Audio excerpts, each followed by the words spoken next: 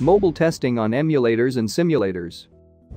Smartphones are structurally and logically different from computers.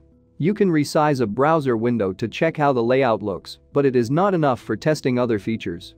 QA engineers need specific devices to test software properly. Today, I will tell you briefly about virtual devices, an alternative to a real smartphone QA engineers often use in testing. A virtual device is software you can run on a personal computer to mimic the behavior of a particular smartphone. It gives an idea of how a program will run on a designated device, even if you do not have that device in possession. Virtual devices have a couple of significant advantages. They are highly available and good for early testing, prototyping, and debugging.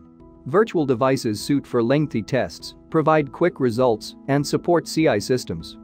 Besides, it is time and cost consuming to get all the existing phone models to run proper testing. There are two types of virtual devices. Emulators and simulators. An emulator imitates features of another device.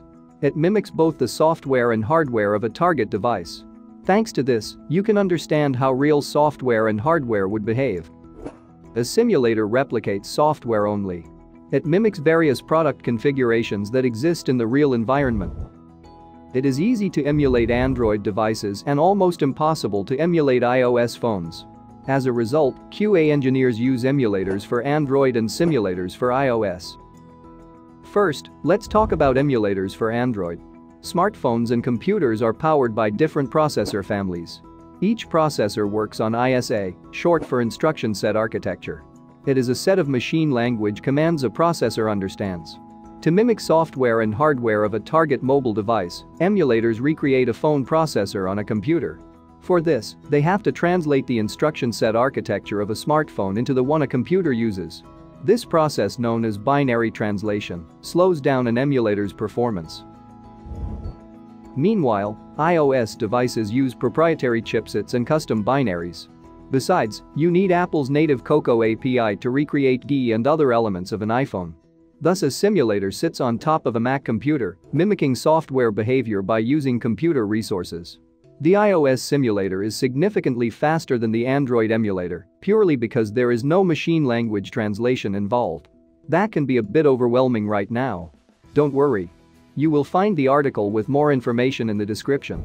Now, it is time to move to differences between emulators and simulators on the screen. Emulators mimic software and hardware, Simulators mimic software only. Emulators model real-life conditions. Simulators don't follow the rules of the real environment. Emulators are written in machine-level assembly languages.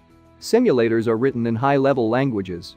Emulators are slower due to binary translation. Simulators don't need binary translation.